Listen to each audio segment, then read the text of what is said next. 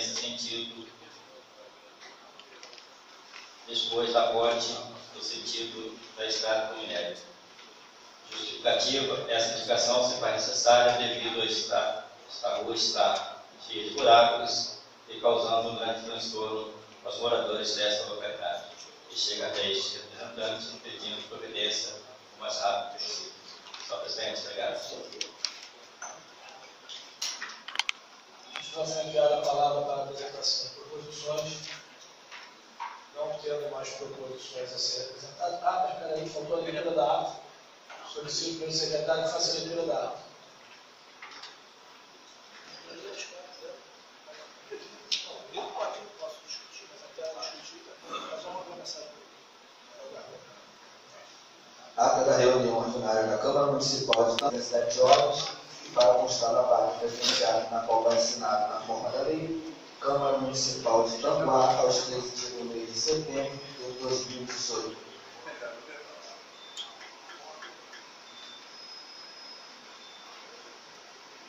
Em discussão ato da sessão anterior, votação de vereadores da prova para ver como se acham, ata aprovada.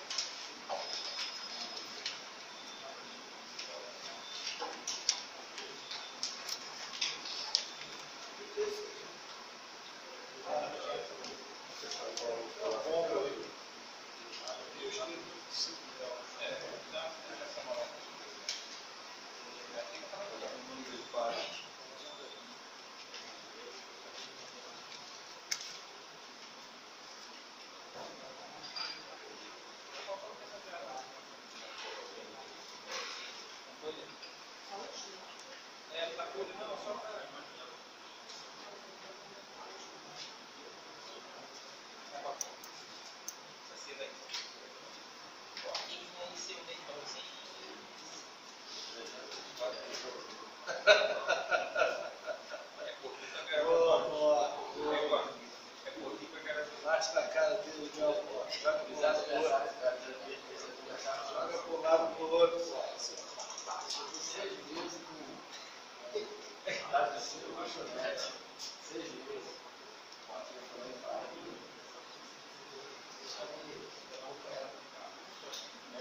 Olha o recado Maruza no meio. Rafael Bolsonaro foi ficar com uma pra sair com você. Sai com você. Vamos ela, hein?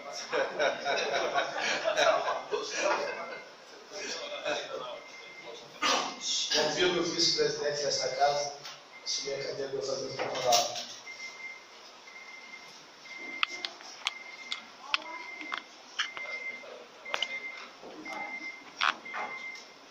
Deixa eu pedir silêncio aí. Guardarário aí. Silêncio. Não.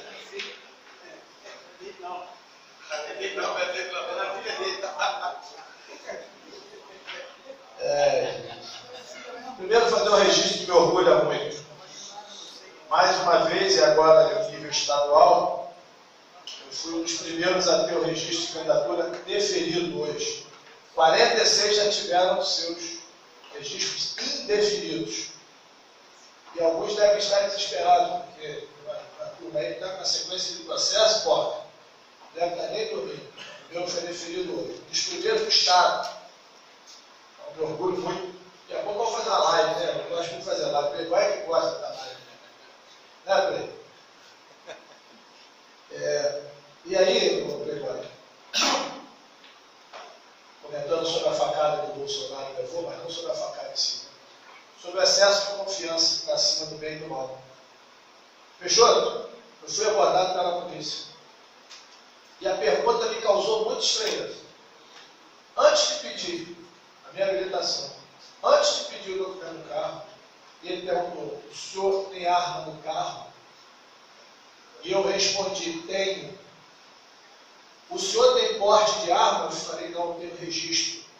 O senhor pode me entregar arma? Eu falei: não. Como assim? Porque a arma não é minha. Somos três amigos que estão aqui, todos estão armados. O senhor não perguntou da minha arma. O senhor perguntou se eu tinha arma no carro. Tem três. Eu não posso entregar, eu tenho que pedir a eles. Eu, eu confesso, Serginho, que eu fiquei muito. Muita gente sabe que eu tenho arma. Eu não achei essa pergunta normal, não. Concorda, bicho? Normalmente se para o motorista e se fala, habilitação do documento do carro, senhor.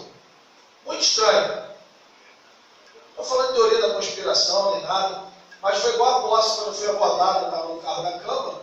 Lá não pega celular. Enquanto eu saí, só passei por vaga, eu sei que foi você, vai, fica tranquilo. Saí do posto de saúde, passei no espaço delícia e fui falar com o Nante. O Nante vai Santo, você que é o deputado. Vem cá, vai estar decidido. TRM pago? Pô, a gente recebeu a denúncia que o senhor está com material de campanha no carro da Câmara. Eles muito educados, né? Não, fica à vontade de ver o carro aqui. Não, não, fica à vontade, olha, olha tudo aqui. Claro que eu não tinha. Eu sou de um imbecil para andar com material de campanha, mas até no bolso, o Santinho, estava com mais impedimento com isso. Eu vou andar com bolsa. Né? Tinha um vereador aqui, né, mas bateu o motor do carro uma vez, quando foi na oficina, abriu a mala, tinha um pacote de Santinho no carro da Câmara. Um ex-vereador que já trabalhou. Não, não fala o nome do amigo, não. Fala o nome de Amarildo, não, rapaz. Não precisa falar o nome do primo de Rodrigo. Meu Deus. O avó foi abrir a bala do carro, tinha Santinho e Amarildo no carro da Câmara. Ai, meu Deus. Ele é só passar de vereador. Foi, foi no finalzinho, né? foi na eleição que ele perdeu agora, foi derrotado nessa. Mas enfim, são tempos muito estranhos, muito nebulosos. E fica aqui essa preocupação cotidiana e ao mesmo tempo, hoje aconteceu um negócio, Playboy, provavelmente vai chegar para vocês se não chegou. Eu não falo mal de ninguém, não falo mal de ninguém, agora eu só tenho uma arma para fazer campanha. Falar das coisas que eu não fiz e que a maioria faz. Hoje, quando eu estava caminhando na praça de Itaguá com minha caixa de som na mão, as 20 pessoas atrás confrontando, como diz o Porquinho, larguei o aço, né, Porquinho? Desafiei qualquer político do Estado do Rio com uma mesa de debate. Ué, eu quis dizer o seguinte, eu tenho condição de debater com qualquer um. E falei o seguinte, 80% dos políticos recebem propina, eu não. Aí teve um que pegou o telefone, derrubou o telefone, no chão, aí veio depois o... Isso foi o Santiago, falou para mim, ó, a Nada ligou ali e falou, oi, está falando mal do meu deputado. Falei mal do deputado, não. Agora, se a carapuça serviu, esse problema também não é meu. Aí passei de frente do comércio, o cara fechou a porta, assim que ele estava com adesivo de um, de um outro candidato, e eu passei dizendo, eu tenho 128 anos. Hoje eles compartilharam, saíram lá de Itaboraí. O candidato de Itaboraí está tão preocupado com o desse tamanho da, do inquérito. Inquérito não, processo do Tribunal de Contas levantando todos os profissionais de educação que têm três matrículas. E eu apareci com três matrículas da matrícula de vereador, não tem nada a ver. Aí deram print, já tinham feito semana passada, hoje fizeram de novo. Quem me mostrou hoje foi Leandro. E a Leandro aqui não, outro Leandro, aqui, Luciano, mandaram para mim. Eu falei, mas antes de você, minha prima já tinha me mandado. Aí o que, eu fiz? Facebook Live, pau no lombo do burro. Aí tem que aproveitar. E deu um palanquezinho, a gente, pau no lombo do burro. Então o registro é esse, a gente vive um tempo muito diferente, é uma política muito diferente, é uma campanha muito diferente. Eu não sei o que vai acontecer, mas eu creio numa ruptura muito grande, muito grande. Essa eleição é uma eleição que Tem muita gente aí que está gastando muita grana. Tem um deputado federal de mandato, riquíssimo, está desesperado. Ah, não marcaram meu tempo ali, mas eu, presidente, eu vou encerrar agora. Achei muito legal. A filha do Eduardo Cunha pedindo voto dizendo: se não fosse o papai, Dilma estava aí. Mas aí tem o melhor, filho de Cabral na televisão. Eu sou o Marco Antônio Cabral. Vivemos tempos muito, bons, graças ao, ao governo que fiz parte. Ajudamos muito no Rio de Janeiro. Ele, desculpa, estava maconhado. Não é possível. Filho de Cabral ir para a televisão pedir voto. Só faltou ele falar assim: agradeça ao meu pai. E a filha do Cunha dizendo que eu estou aqui porque meu pai tirou a Dilma. Senhoras e senhoras, as pessoas ainda não entenderam o que está acontecendo nas ruas. E isso a cada dia me motiva mais, Valdir Caetano. E é um reflexo da eleição de 2020 também. Quem já está preparado para 2020 pode alinhar sua conduta. Tem gente aqui que não é especialista, igual o Dão, mas não já se percebeu. O Dão, para tirar foto com alguém, ele se esconde, parece um, um SUS saboado e dobra para lá. Lá em Brasília, quando foram tirar foto com o pezão, eu corri. Pum! Colhei, botaram o leite, Peixotinho malandro, eu tiro. Eu bato. Você que guarda a foto, É, eu corri, Peixotinho falou, não vai achar que eu tiro a foto. Paulo me abraçou, o pezão tirou a foto. Aí o pezão falou assim, não é, Paulo, você vai tirar foto comigo? E o Paulo falou, eu vou, não sou mais candidato Obrigado, gente. Presidente, o senhor até me inspirou agora, mas eu não vou falar não, presidente. Mas foi muito engraçado, o Você sabe que você me inspirou, agora eu não vou falar não. eu sou mais candidato. Quero ver candidato tirar foto com ele abraçado. Vamos tendo mais inscritos, passando a discussão das proposições. Eu tô doido que termina essa eleição, porque acaba, acabou pra caramba. Proposições do vice-presidente Valdair Caetano, Oh, não, senhor, indicando ao prefeito Val e à Secretaria de Obras que seja feito patrulhamento da estrada do Minério, tendo como referência depois da ponte no sentido estrada do Minério. Indicando também ao órgão responsável pelo trânsito a colocação de placas sinalizadoras na entrada do peão e na saída, no sentido da delegacia e como no sentido vindo para a cidade de Campoá. Em discussão.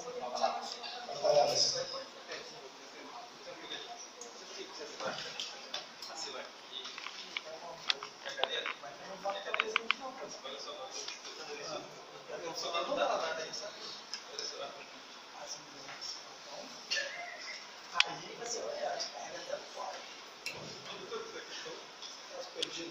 É, essa indicação aqui, indicando a sinalização de placas ali na entrada do peão, é porque ali a gente, até moradores daqui da cidade, fica perdido. Você não, só tem aquelas duas, duas setas lá que indicam que você não pode ir sentido direto, você vai pegar a pista de é, contramão, né?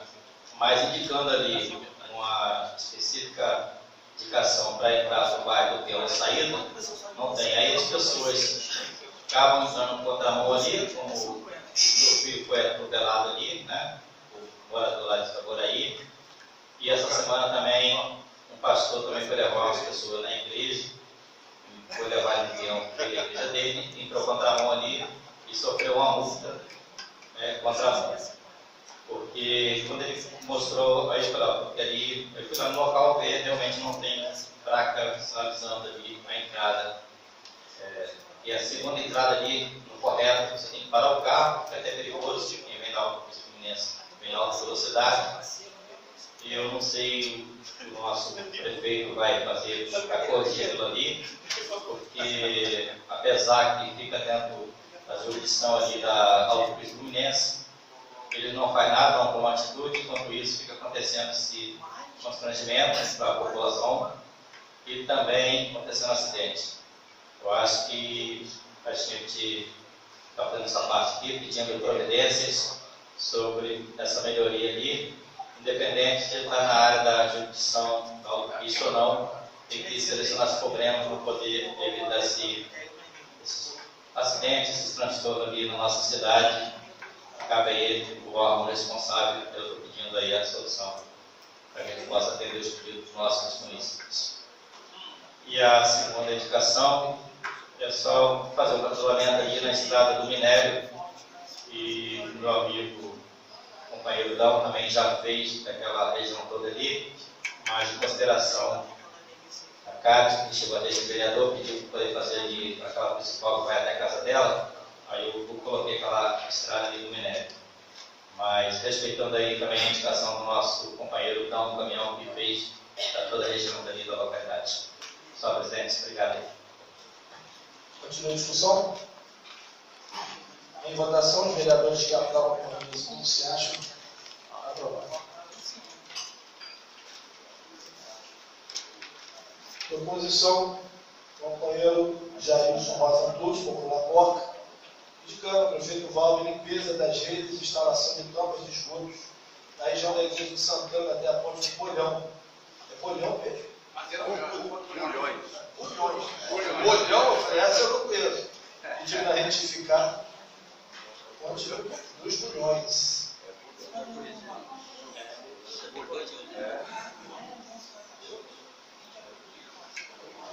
O bairro próximo de todos. Em discussão, contra. Quer falar sobre a promoção?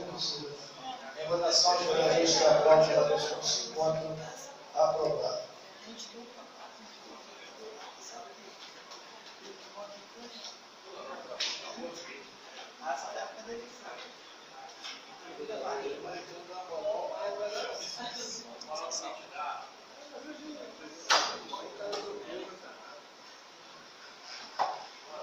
É, a gente como cristão tem que semear as coisas dele. Já passei dessa fase. Passei dessa fase. É, a ausência da vereadora Nina, as proposições dela serão retiradas. Ah, viu? Viu como é que Deus mostra, Sérgio? Vou, vou contar, tá, Nina? Se a gente falou assim, acaba a sessão, rapaz. Deixa, Não, deixa. hora vai chegar. É isso aí, viu? Viu? Deixa eu paciente. Olha lá como é que ficou espera. branco. Olha lá, pálido, rapaz. Como é que ficou pálido? Discussão, as proposições da vereadora Miri requerendo que sejam encaminhadas a esta Casa de Leis programação para a reestruturação dos laboratórios de informática da rede municipal de ensino.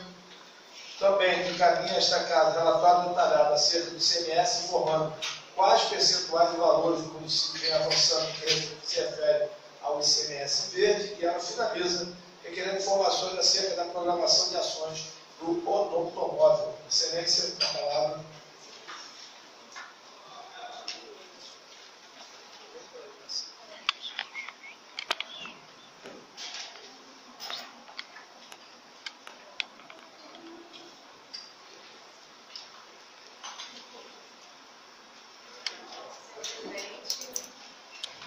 Senhor presidente, demais vereadores, boa noite.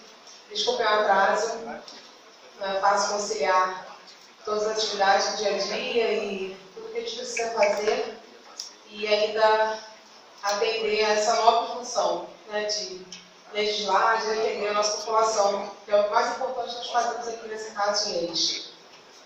Essas três proposições, elas é, reiteram o pedido já realizado a- ao Executivo, falando de três ações importantes. A gente discute tanto a educação, né, a função é, tão fundamental para a nossa sociedade evoluir, para a nossa cidade crescer, e a gente construir uma cidade de futuro. A gente sabe que muitas vezes políticas públicas a gente pensa só no imediato, não pensa é, a longo prazo, sendo que a gente precisa mudar essa realidade. A nossa nação o nosso município precisa pensar diferente. E o que nós temos hoje é uma educação do século XIX, ou seja, bem distante da realidade do aluno que é, hoje é informatizado, que por mais que a sua renda seja baixa, ele tem um celular, ele tem acesso ao smartphone, por mais simples que seja, ele tem acesso às mídias digitais, às tecnologias. No entanto, a escola que ele vive não tem nenhum computador para ele usar, para ele acessar. E esse governo ele recebeu todas as escolas com laboratórios de informática, com computadores, é, parece que não, não estavam montados, Mas isso não é, nada, não é justificativa para você passar seis anos com os computadores desligados, desinstalados, destruídos. Hoje, se você for percorrer as nossas escolas, você só encontra uma escola com o laboratório funcionando, porque o professor Eduardo, Eduardo Santos, que inclusive tive a satisfação de estudar comigo na minha faculdade, ele é professor de geografia, mas ele se sensibilizou com o problema e ele consertou os computadores. Ele doou seu tempo e consertou os computadores da escola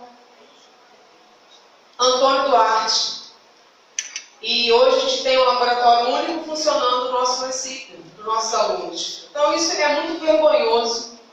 É, é muito é, é triste demais, é lamentável, porque bastava você não ter um técnico um técnico resolveria esse problema, porque ele faria uma, uma escala, uma rotina de atendimento, de manutenção. Hoje não é difícil você encontrar técnicos de manutenção de computadores, que mais tem são jovens querendo oportunidade para trabalhar e fazer, esse, e fazer essa, essa organização, essa manutenção desses equipamentos. No entanto, o que nós vemos é isso, uma escola do século XIX que não oferece uma educação mais antenada, mais ligada às novas tecnologias, e por, por simples desinteresse, por simples descaso.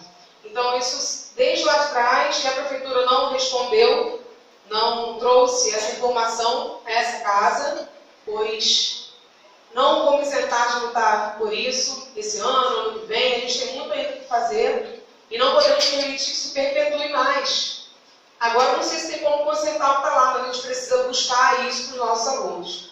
É preciso trazer essa realidade do dia a dia deles. Se eles estão desinteressados, precisamos fazer com que a educação se reformule, se molde à realidade desse aluno de hoje. Então, essa proposição vem, a essa, vem, vem solucionar esse problema.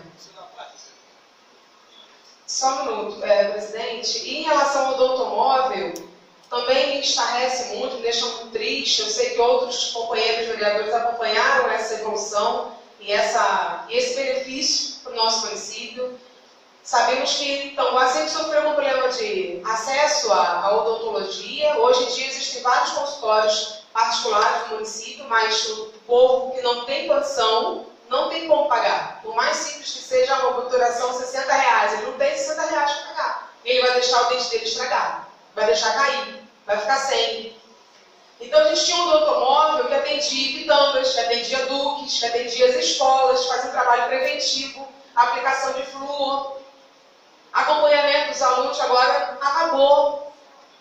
Eu lembro que esse ano, ou no final do ano passado, falei sobre esse problema aqui na Câmara, colocar para funcionar embaixo do viaduto durante uma tarde só, para dizer que, opa, está vivo. Mas está vivo para quem só veio ali aparecer para demonstrar numa situação momentânea? Cadê uma agenda de programação? Cadê o atendimento aos bairros? Cadê o acompanhamento à saúde básica? Que é isso que o povo está precisando. São coisas simples, que estão aos nossos olhos, assim, ó. Só não faz porque não quer dar trabalho. Mas prefere gastar dinheiro com outras coisas. Que existe, sim, gasto com outras coisas. Então, isso entristece porque o automóvel está largado lá um tempo, está num lugar descoberto. Pode estar legal, você vai lá virar a chave liga, ou você troca a bateria para você usar vai funcionar momentaneamente, mas se deixa estragar, se deixa destruir o patrimônio que tem que atender o nosso povo. Atende para fazer firula, para aparecer, mas depois some. De repente, agora, a época de eleição, vai voltar a funcionar. Pode ser. Né? A gente vai ver ele rodar por aí. Então, esse automóvel é nosso patrimônio, é importante ser mantido, é importante que se tenha uma agenda de trabalho e ele vá para a rua atender o povo que precisa. Então, é, essa situação do automóvel foi importantíssima, tanto do automóvel quanto do caminhão da saúde. Também tínhamos atendimento aos bairros mais distantes, minérios, atender de repente os acamados, enfim, tem tanta coisa, tantas ideias interessantes que o município precisa colocar para funcionar, visando a saúde e a atenção básica, a saúde preventiva. E em relação ao CMS verde, é algo que eu já venho falando desde o início do mandato, por ter certeza, ter mais do que convicção de que a proteção ao meio ambiente ela abrange diversos outros direitos do cidadão. Tanguá possui reserva vegetal, nós temos uma reserva remanescente da Mata Atlântica no município, muito preservada, tem um trecho muito preservado da Serra do aqui, e outros trechos também, outras manchas, né, que precisa ser é, levado uma política ambiental sério. Rediscutir com os coceiros, rediscutir com o Rio Bonito, por exemplo, com o Maricá, as nossas divisas. Trazer de volta o corredor ecológico, essa ideia do corredor ecológico que foi fomentado pelo governo do Estado e está abandonada. Além de tudo, o governo tem condição de ter dinheiro com o SMS verde, ter verba, mas não procuram fazer o dever de casa. Vamos fazer o feijão com arroz, está muito bom, daqui a pouco acaba, ou daqui a pouco a gente tenta empurrar um outro candidato aí, vamos fazer só no ano da eleição e vamos enganar o nosso povo mais uma vez. Então isso nos entristece, eu acho que o Brasil está acordando para essa necessidade de acompanhar, de ter um acompanhamento mais contínuo dos mandatos e fazer com que aconteça o que está acontecendo hoje lá na Rua 8 da ampliação. As máquinas se posicionaram, um container está lá para fazer a obra, sumiu todo mundo já. O container está parado, as máquinas estão paradas, ninguém vê serviço, ninguém vê nada. Mais uma coisa para enganar o povo de Tambuá. Então, uma obra eleitoreira que busca apenas ludibriar as pessoas sempre está trabalhando, ah, agora não tem mais dinheiro. Então, o que, que resolveu fazer? Por que, que estão foca em alguma outra ação você vai começar e vai terminar? É assim que a gente precisa trabalhar. Parar de história criada, parar de fazer fofoca, política, em cima de um trabalho que é sério, que é um trabalho de gestão. Então, essas três indicações, eu espero que o governo nos responda para que nós possamos acompanhar, que é o mais importante na, na condução de um mandato. Pode falar, presidente. Não vou usar a palavra. Ok, está ótimo, tudo bem. Muito obrigada. Continua a discussão, convido o vice-presidente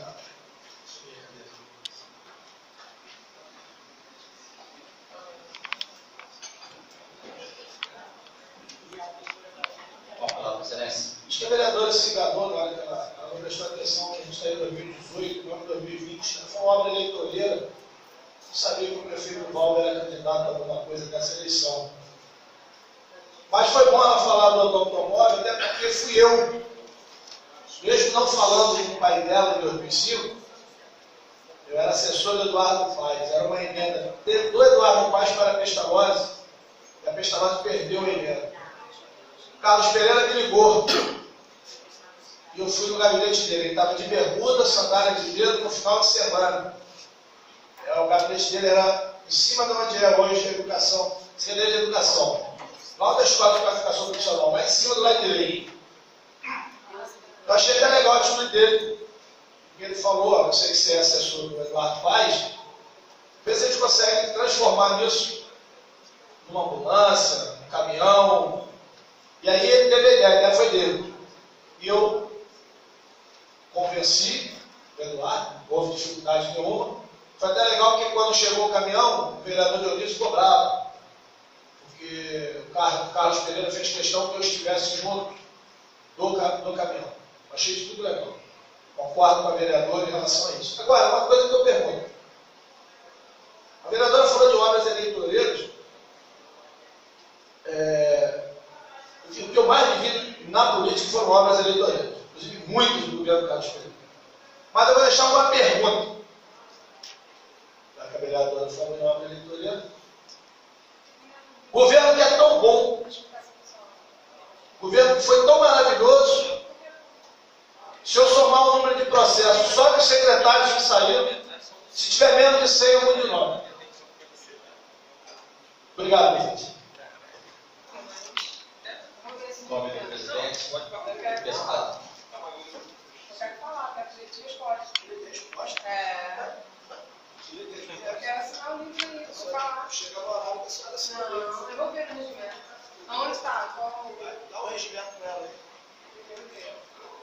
Olha só, se a senhora, não dá para porque você é só uma das árvores, mais 50 aqui guardados. Cada vez que a senhora, cada vez que a Só não pode dizer, porque eu não estou no governo. Eu não estava lá, então eu não posso atribuir. Ué, eu tenho que falar, estou no governo, mas eu estou no mandato. prefeito é candidato, Não interessa, mas ele tem os padrinhos dele que estão rondando a cidade. ficou nervosa porque Não estou nervosa, não. vereador, o vereador quer falar. Eu tô calmo, tô. Eu só quero até pedir desculpa, porque não são 100, são mais de 200 processos. Sem problema, pode falar, tá certo? Uma palavra, o vice-presidente dessa casa. É,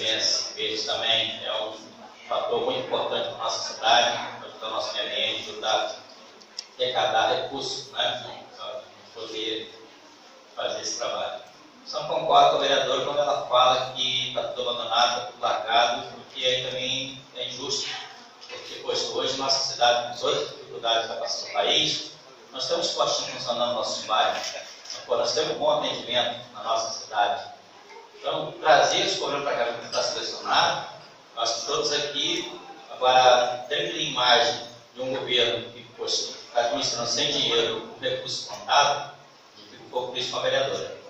Claro que ela é, é oposição, tem que realmente colocar a sua postura, mas é, se a gente fazer, vereadora, uma levantamento em toda a cidade, a gente vai ver que a nossa cidade está caminhando em todo sentido. Né? Por mais que precisa de material, manilha, campo, para poder fazer o que a gente realmente almeja, mas a gente ainda tem que ter orgulho da nossa cidade estar num momento tão difícil e conseguindo caminhar, presidente. E quando a gente vê que tem alguns municípios que não tem nem hora disso para colocar nas máquinas, aí que é verdade. Né? Então, eu, quando eu vejo falar nessa, dessa forma, eu fico um pouco triste. Mas não discorda da, vereadora Policarpa, o caminhão, atender outros lugares que necessitam de transporte médico. E a gente lutar para a gente poder conseguir todos os pais atender a nossa população e defender realmente os direitos. Porque essa casa está aqui para isso, para poder fazer a diferença.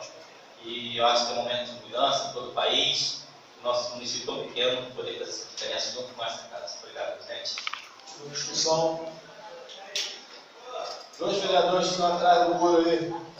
É em cima do muro, não, é atrás do muro. Plenário, por favor, para colocar em discussão e votação.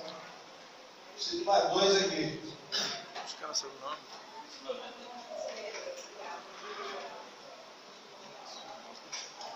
Isso, só um comentário. Foi protocolado na Câmara hoje pedido do senhor Antônio Luiz Lima Veloso. Ele disse que ele foi bloqueado nas páginas do Facebook da Câmara.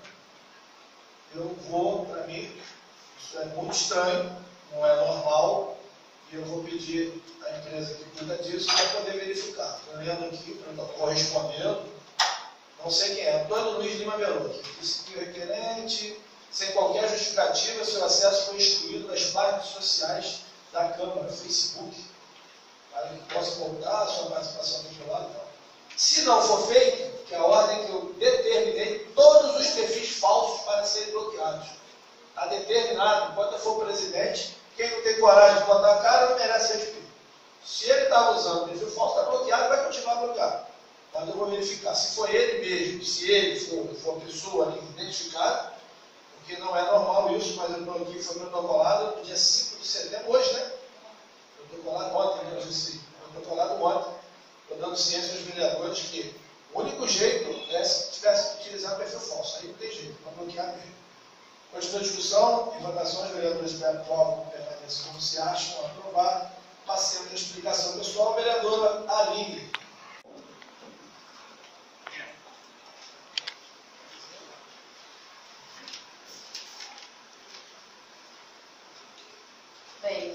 Presidente, demais vereadores, eu tenho a dizer, a princípio, é que a democracia precisa de oposição. Sempre. Sempre tem que haver outra opinião contrária. Não dá para todo mundo aceitar a cartilha que uma pessoa dita. Ponto e fato. Tenho muito orgulho, já falei diversas vezes aqui, da minha herança política, do meu pai. Tudo que ele construiu para essa cidade é, é inegável. Tudo de positivo que foi construído. Claro, como nenhum ser, como todo ser humano, todos têm defeitos, todos têm limitações, isso é, é, é claro. Mas, sem dúvida nenhuma, não, não, os, não faltou muita garra, muita força de vontade para transformar Tanguá. Isso é fato, transformar. Era, de uma, era uma coisa, transformou-se completamente em outra. Mas é muito natural de que quem caminha com você um período, se dá muito bem com você um período, depois a pessoa muda de lado. Isso é fato. Né? Eu sempre vou manter a minha postura, se o prefeito Valdo fosse excelente, estivesse realmente fazendo uma gestão perfeita, como, por exemplo, pegar o mercado produtor, iniciar a obra e acompanhar e concluir, ótimo, estaria batendo palma para ele. Se tivesse começado as quadras da Vila Corte, aquele trabalho que até hoje começou no ano de 2016 e até a presente data não concluiu, cobertura de quadras e diversas ações que estão aí paradas, ali na Rua 10 de ampliação, até hoje não terminou. Até hoje não buscou resolver o problema. E mais importante, que eu iniciei minha fala aqui, os laboratórios de informática continuam destruídos e abandonados. Esse governo não foi capaz de manter máquinas com simples acompanhamento técnico. Simples acompanhamento técnico. Acabei de falar que se o dinheiro é tão contado assim, por que, não fez o trabalho de manutenção? Isso é que eu faria. Se eu tivesse uma gestão, por exemplo. É, Sempre acompanhei meu pai aos bastidores. Nunca tive poder de caneta nenhuma na minha vida. E não assino embaixo tudo que ele faz. Como uma, como uma pessoa adulta que eu sou, aos meus 36 anos. Não concordamos em alguns pontos, concordamos em outros. Toco a minha vida, toco a vida da minha empresa, graças a Deus, a empresa da minha família. Por quê? Tenho força de vontade de correr atrás e subir os meus atos. Mas de forma nenhuma, nenhum vereador dessa casa vai fazer evitar minha voz e minha vontade de falar aquilo que eu tenho coragem e vontade de falar, porque vai querer dizer que lá em sete anos atrás, ah, lá dez anos atrás era uma coisa, não me interessa, eu estou vivendo hoje. Me preocupo hoje com a sociedade que o Tanguá se tornou. 11 horas da manhã, 11. 10 horas da manhã, uma amiga me liga. 10 tiros de novo na beira-rio do Bandeirantes. Será que estão preocupados com isso? Será que estão construindo uma sociedade de vanguarda que não era isso que a gente está vivendo hoje? Uma juventude largada? Isso é verdade, é sim, não tem opção para fazer nada, essa juventude não tem nenhuma cultura. O teatro está ali, ó, caindo, caindo aos pedaços. Mas será que há incentivo de algum grupo de teatro, algum grupo cultural, energia em Tanguá? Não, não tem, porque não tem incentivo, não tem interesse. Então, a minha voz vai continuar ecoando sim, dizendo que esse governo que se diz de dinheiro contado, a gente continua falando aqui. As obras aconteceram, os empenhos estão acontecendo, aguardando para me dizer que festa foi essa de 32 mil reais. O dinheiro não é tão contado assim, é tão espremido assim, que começa a obra na rua 8 da ampliação e não conclui.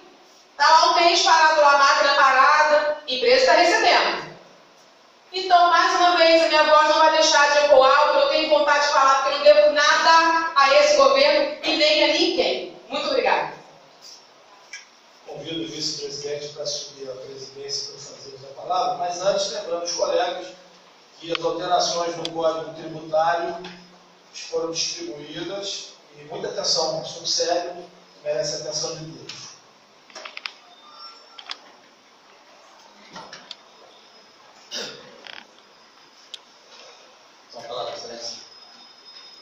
Eu não entendi a fala da vereadora quando ela disse que querem falar a voz dela. Eu, sinceramente, não entendi.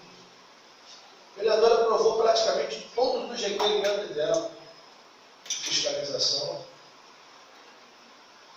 Momento algum, inclusive ela até falou agora, chegou atrasada, ela não poderia falar, e eu assumi, ela até disse, não, não quero falar porque eu posso estar fora da lei. Não, Ela ficou tão incomodada que a senhora vai falar.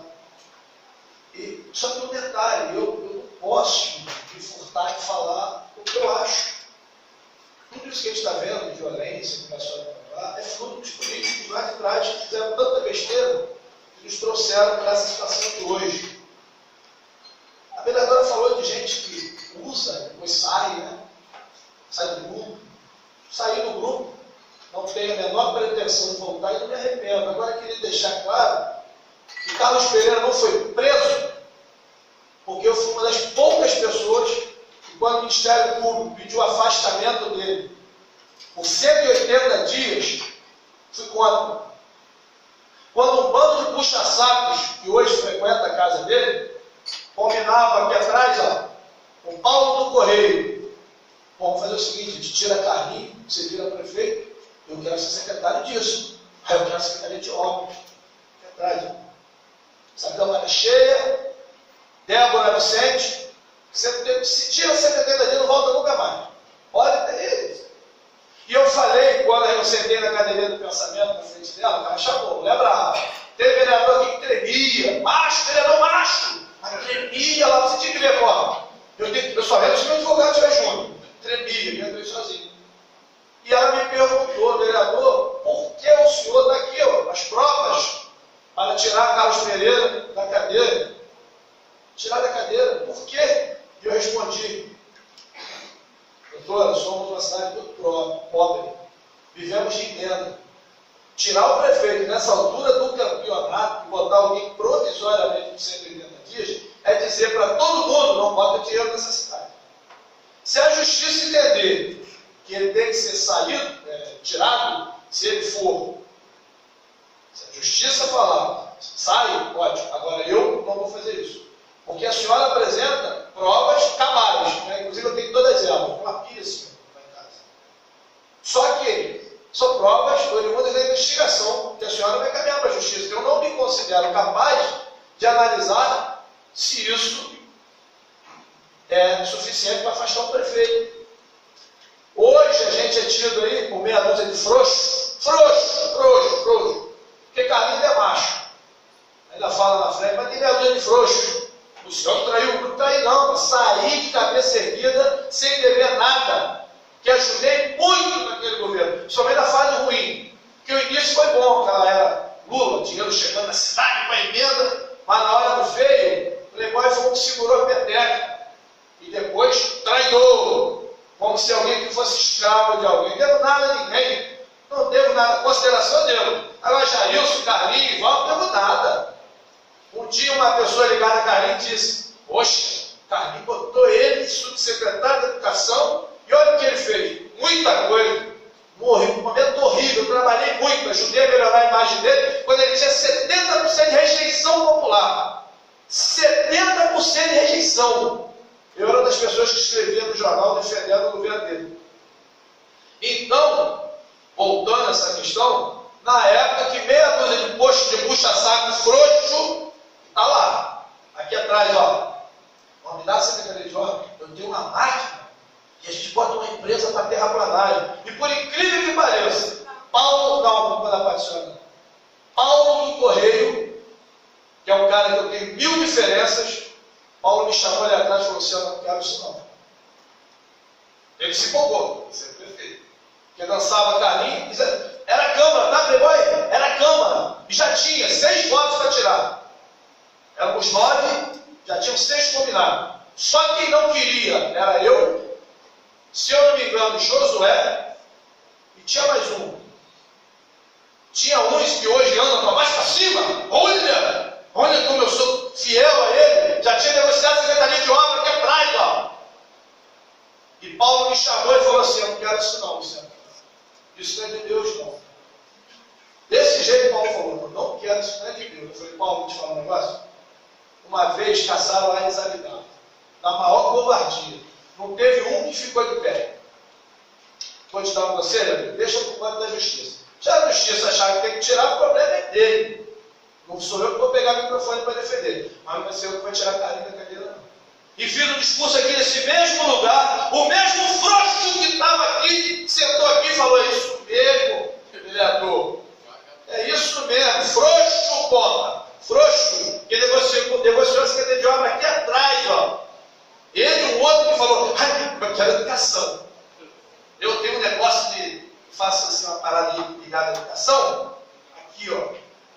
Sentou aqui, ó, nessa cadeira aqui, se não me engano. É isso mesmo. E olhando perplexo, Sérgio. Por isso que aquela fala sua na nossa reunião, que pouca gente sabe, nós fizemos uma reunião na segunda-feira, quando eu saí daqui, a base de água, para falar da minha candidatura. Deu 520 pessoas. Não levei padrinho, não botei ônibus para buscar em casa, nem ameacei. Se me apoiar agora, está fora no futuro.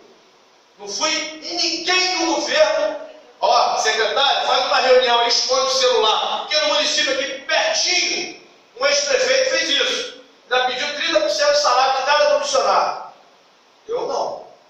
E ouvi lá pessoas como o Serginho, não devo nada a Luciano, não devo nada a Walter, estou com eles que acreditam no projeto. E o dia que decepcionar, eu falo na cara igual estou falando aqui. Foi assim que foi? Coisa linda. Eu saí de lá emocionado, com a certeza que o caminho é esse. Então, repito, meu questionamento é: que obra eleitoreira é essa? Que governo é esse que na minha reunião só teve três secretários? Na, na minha concepção, se eu sou o candidato do governo, tem que estar todo mundo lá. Teve uma pessoa que veio falar comigo: ó, Fulano está com o Marco Abraão. Eu falei: vai tá certo? Marco Abraão, quatro mandatos, esteve junto do governo da outra vez. Eu quero pegar os votos de Marco o máximo que eu puder. Mas eu não posso falar mal do Jorginho e de Playboy. Agora, vem ET, ET, que chega no comissionado a 3 mil reais e o cara vai lá e adesiva o carro. Porque tem gente pagando 3, 4 mil para adesivar o carro. Tem gente dando voto zero para a gente ter mil votos. Que se perder a eleição vai ser preso. Eu não. E eu repito, processo. Aí eles ficam doidos, Sérgio. E busca um negócio, inventa um, enquanto eu puder, enquanto eu tiver forças, eu vou trabalhar. Não sou o exemplo da perfeição, mas procuro errar o menos possível. Não sou ladrão. 28 anos de política, fui gestor, cultura, com educação, com, com turismo, dois mandatos na presidência. Não sou ladrão. Quem tem processo, que responde. Digo mais, meu registro já está deferido um dos primeiros. 46 já dançaram. E tem gente que não está nem dormindo. Que só lá na relação tem mais de 30. Desvio de verba da saúde, educação, compra superfaturada de merenda e vai para a rua falar besteira. Para cima de mim, só se for com o sniper, aquele que dá um tiro lá de cima. Muito obrigado. presidente, você